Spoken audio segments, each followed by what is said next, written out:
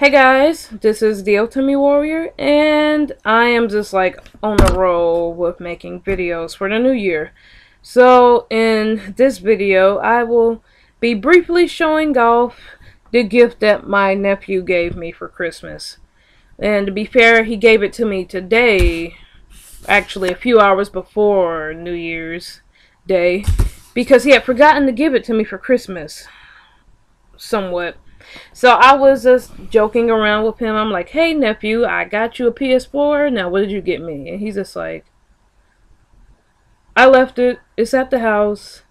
Like, I forgot to give it to you, but I'll give it to you. So, he gave it to me today, and it is the a 3DS Super Mario case. Yes, this is like a case for the Nintendo new Nintendo 3DS XL. And it has Mario on it. Now this is used. He he had a 3DS, but it broke. And I actually saw this and I wanted this when his 3DS broke because it didn't look like he was going to get it fixed. So I'm like, nephew, I will buy this off of you and like your charger and see what type of games you got. Just I'll sell it. I'll buy you or yeah, I will buy all of that stuff off of you. And I thought we were going to have a deal, but his father said no at the very last minute because we thought he was going to fix his 3DS XL. But um but my nephew's missing the piece that holds it like one of the screws, so basically yeah, it's probably never going to get fixed. And um he's moved on to his to his cell phone anyway, and that's where he plays a lot a, a lot of his games portable wise. So yeah, I don't think he's really into like handheld gaming, which is a shame because I thought about getting him a PlayStation Portable or like a PS Vita next year. Anyways, but he told me is like pretty much what's the point if he has a phone that can do that stuff, which is pretty much why I think the Vita died. Other than the maybe the expensive memory cards, who knows? maybe that that's another video for like another day. But he gave me this, which it has scuffing on it, but I needed a case like really bad. Well, not really bad, but I really needed a case for my 3DS XL. And uh, on the inside, he actually gave me a couple of games with it too. So we have. Uh, we have the Cars game for the DS and we have uh, eh, Lego Marvel, which uh, Lego Marvel superhero superheroes for the 3DS, which I'm not gonna lie, I probably will not play these games anytime soon because they're just not really my thing.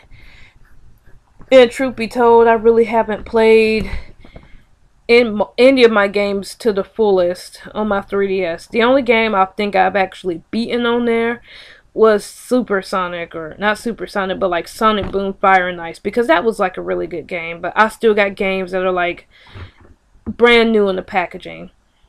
And I have like uh what's one Splinter Cell the game for the 3DS and I have like Persona.